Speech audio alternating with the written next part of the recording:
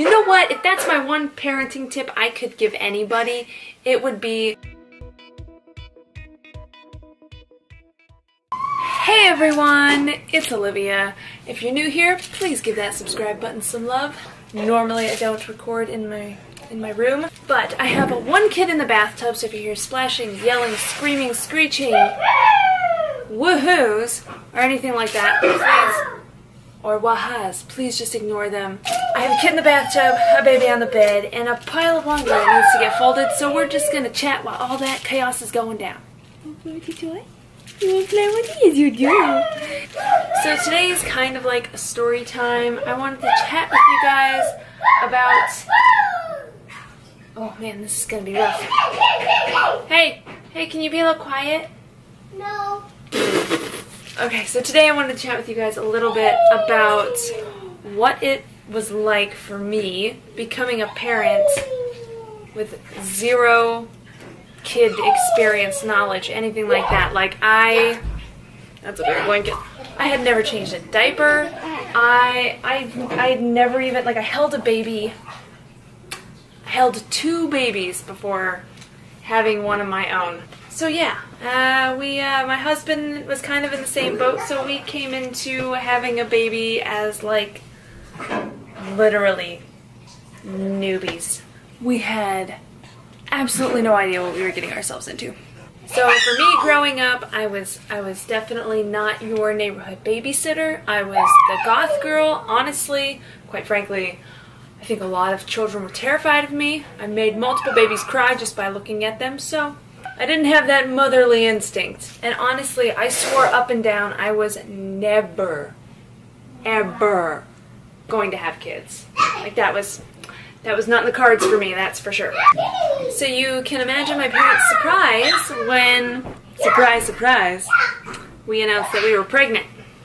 It's like she got louder when I started doing the video. I'm not even kidding you guys. She was not this loud five minutes ago. Between you and me, we had talked about having kids. It was definitely something that was on our radar. We weren't planning for it the first time.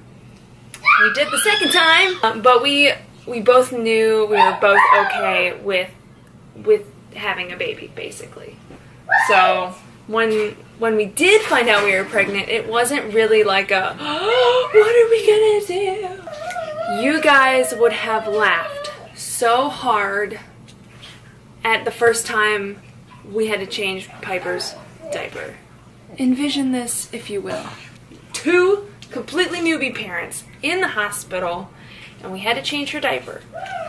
We don't know how the tab things work. We, I mean, like, it, it's like, okay, what? It goes under the butt, it goes over the crotch, you know, like, that. But we could not fathom how one person could could manage putting a diaper on by themselves. Like, that was a two-person job in our heads. So Jim held the feet up, and I, you know, and I managed the tabs and the things and folding it all on. It probably took a good two to three minutes. No, I'm not. And then like flash forward to now, like just the other day, I changed her diaper with one hand while feeding her a bottle with the other hand. That's when you know you're a seasoned parent, right? Of course, I have to say, Google, thank you.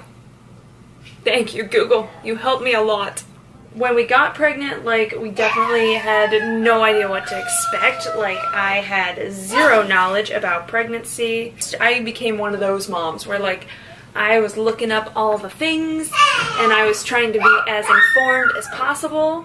It's kind of crazy because by default, I said, obviously, I'm getting an epidural. That's just what you do. You know, like, not thinking anything of it because that's just, that's kind of just what you're programmed to know you know, and then I researched more about it. And if you've gotten an epidural, if you're getting an epidural, like no beef towards you at all. Like do what you need to do. But for me personally, that just wasn't the route I wanted to take. After doing all the research and finding out, you know, different different side effects and what I gotta say, guys, you know what all comes along with having an epidural.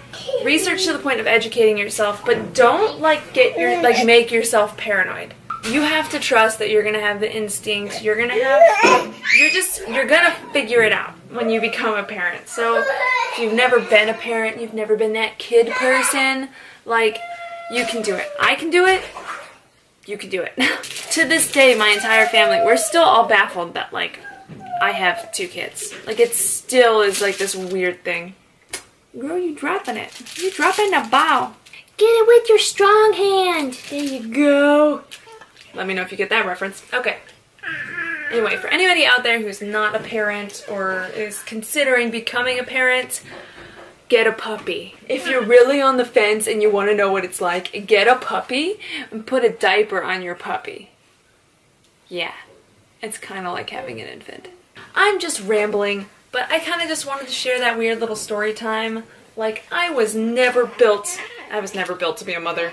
I have a vagina. Yes, I was. Okay. I never intended on being a mother. That, I just never wanted that. Ever. But honestly, now that I'm in it, I kind of dig it. Not enough to have three. Two. Two's my limit. Go with your gut. Stay informed and just have fun with it. Honestly, if that's my one, you know what? If that's my one parenting tip I could give anybody, it would be to just have fun with it because you could easily get stressed out over germs, the proper way to do things. Is this gonna be like bad for my baby? Like you could overwhelm yourself with stress so much, uh, obsessing over little things. So if that's my one parenting tip, it's just have fun. It's gonna be okay. Kids are cool, but they're not the end all be all. If you have kids, cool. If you don't have kids, cool. That's where we're at today. Anyway, I'm done. I'm done. I don't know what I'm talking about anymore. I just wanted to do a little story time, chat with you guys, try to get some laundry folded. Oh! Now she's quiet. I'm done with the video, and now she's quiet. If you like this video, let me know. Like I said before, please give that subscribe button some love. I would really appreciate it, you guys. You keep staying simply awesome. I'll keep staying simply Oli, and I'll see you guys in the next video. Bye! Don't judge me. Thumbnail time. Gonna take a thumbnail today. Thumbnail time. Okay, ready? Hey. Ah!